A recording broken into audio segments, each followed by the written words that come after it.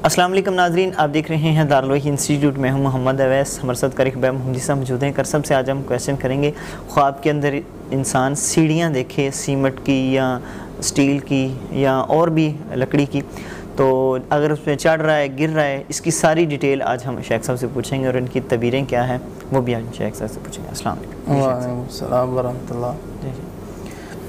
अल्हम्दुलिल्लाह वहदा वसलात वसलाम अला नबी बादा मबाद फ़ौज़ बिल्लाजीम बसमीम वह सब सीढ़ी पर चढ़ना जी गारे की और ईंट की सीढ़ी है जिस पे बंदा इजी चढ़ गया है जी तो इसकी तबीर होती है कि इसके काम के अंदर खैर पैदा होगी जी इसलाह हो जाएगी मामला बेहतर हो जाएँगे और इसी तरह इसका जो दीन है उसमें इजाफ़ा हो जाएगा ये इसकी तबीर होती है और इसी और इंसान को नेकी मिलेगी नेकी पहुँचेगी। कोई दुआ कर देगा इसके लिए कोई उसके लिए खैर और भलाई कर देगा। और इसी तरह इंसान देखता है कि चूने की दीवार है जो कि इंसान चूने की सीढ़ी देखता है ख्वाब के अंदर या पत्थर की सीढ़ी देखता है ख्वाब के अंदर।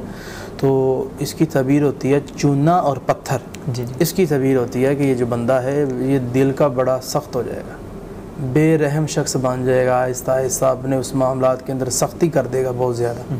और इसी तरह ख्वाब के अंदर इंसान देखता है कि लकड़ी की सीढ़ी तो इसकी तबीर होती है इसके दीन के अंदर कमज़ोरी पैदा आ गई। चूने की सीढ़ी इंसान देखता है ख्वाब में कि उसके ऊपर चढ़ गया है।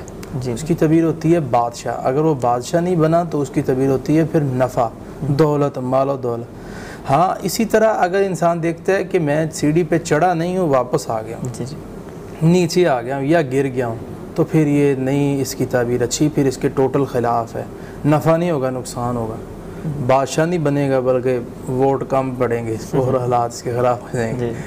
तो इसी तरह दुनियावी मामला के अंदर नुकसान होगा तो बेहतर यही है कि ख्वाब आते ही ज़ाया कर दिया जाए और अपने मामला में गौर किया जाए कि कहाँ मैं इन्वेस्ट करने लगा हूँ आगे वाला शख्स कैसा है उसकी उसके मुतालिक पूरा तफसील के साथ चेक करे उसको। जी जी।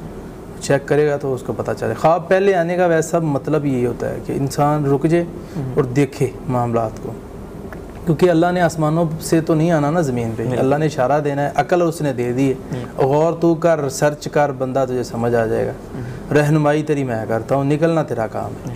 तो इसलिए मामला को जब देखेंगे इन ताला आगे वाला जो मामला है वो आपकी समझ में आ जाएगा भी ठीक नहीं है ये। तो इस हम रिश्ता ना करें यहाँ यहाँ हम कारोबार इन्वेस्ट ना करें। तो अब रुक जाएँ उस वक्त। बहुत शुक्रिया।